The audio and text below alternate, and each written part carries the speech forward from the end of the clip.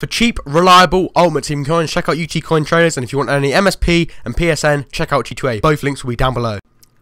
Hello ladies and gentlemen and welcome yourselves back. Today we are beginning our World Cup campaign with Spain. Now prior to this we hadn't played any friendlies with the team because straight away it was just straight into the games. But you can see that um I'm only really showing you the goals and this is already in the 82nd minute because I don't really want this to drag on. A lot of you don't give a crap what happens in the World Cup but as I've decided to take it I gave it a go and you'll see the outcome. But as I said this is only a very quick video.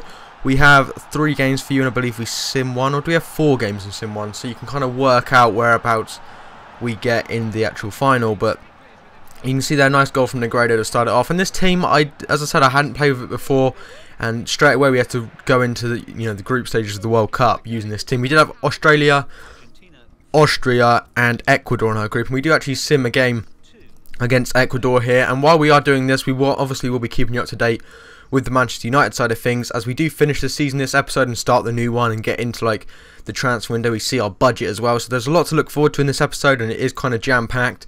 But this is obviously important that we're in the World Cup. We do go into the game against Austria. You can see the team we got is very strong, although our reserves is literally just them three that you can see at the bottom, or maybe one fan as well. So there really wasn't a lot to do, and I found the problem was Dig uh, Diego Costa was terrible and you know I just couldn't score with this team for some reason. The amount of good players that we have, and the reason Xavi isn't in this team, you may ask, is because he is now an 81 rated, which is great. And uh, you can see there, Alaba, what a ball that was into Andreas, is it Wyman? Wyman? Wyman? I don't know.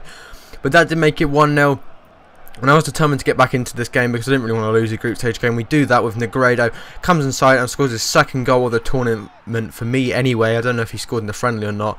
Does a little windmill and then does a little moonwalk to finish it off. Very classy indeed. That was a very lucky goal to get.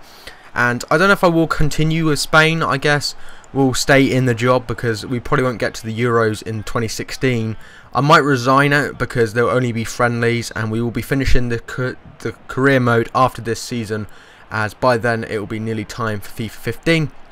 But you can see here, Arnautovic gets the ball on the edge of the box, smashes it, and it looks like it goes through Casillas' head and somehow ends in the back of the net. And that was how it ended. So we did lose the group game, but we got six points in the group, which does give us automatic promotion into the knockout rounds. And you can see here, we do end the season with Man United, and we will be doing another one. Unfortunately, all of our performances were poor. We, I think we got knocked out in the final of the domestic cup against Arsenal was it, and we didn't get very far in the Champions League, and we also didn't get we um, slightly lost out on the league at like the last two games. We missed out on first place, so that does kind of suck. But you can see here we are starting the brand new season with Man United, and we just go through our budget, which is 36 million with 170k on the wages.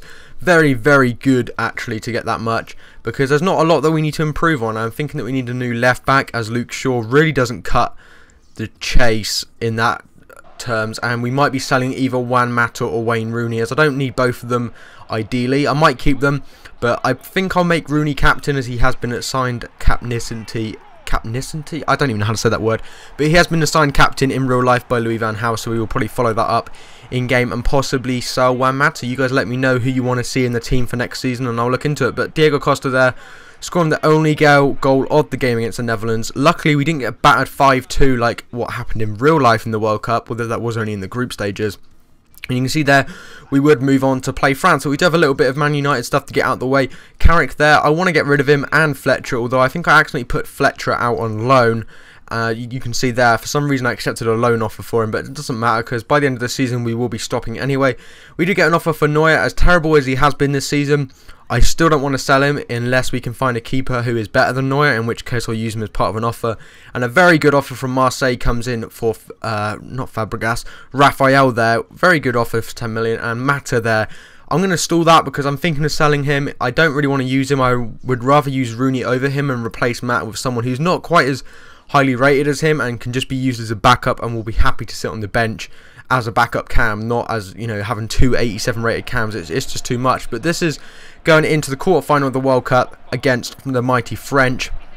And straight away, Biabiany in 13 minutes slots it home to make it 1-0. And from this point, I was just like, oh, for God's sake, I can't even be bothered now. You know, as soon as we went 1-0 down, I was struggling to score at the best of times. And then look at that from bloody Ramos. What am I doing? He sweats it across to Biabiany. And that was literally how the game finished. And um, that was us out of the World Cup as quickly as that. Inside five minutes, we were knocked out.